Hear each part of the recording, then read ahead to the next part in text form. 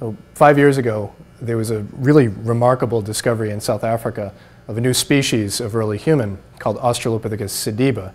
There was an adult female that was discovered at this cave site, and her skeleton is remarkably complete. It's just a magnificent skeleton.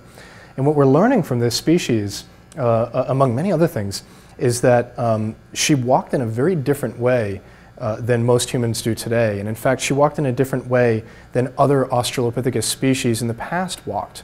And it tells us that there were many different forms of bipedalism that evolved over the course of human evolution. That this typical uh, progressional uh, uh, picture of human evolution of a chimpanzee-like animal evolving into a human-like animal in a linear fashion is simply wrong. That there were multiple ways of being an upright walker. And one of the ways that we know that is by studying humans today and the variation in which humans walk today. And one of the ways that some humans walk today is something called uh, hyperpronation, where we have excessive twisting in of our foot and, and therefore our knee and our hip. Uh, and it even goes into the lower back as we walk.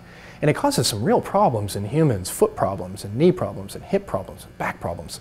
And one of the magnificent things about this skeleton, and we're still studying this, we're still trying to figure this out, but what it appears uh, to us is that this skeleton has anatomical solutions to the very problems that humans experience when they walk in this manner.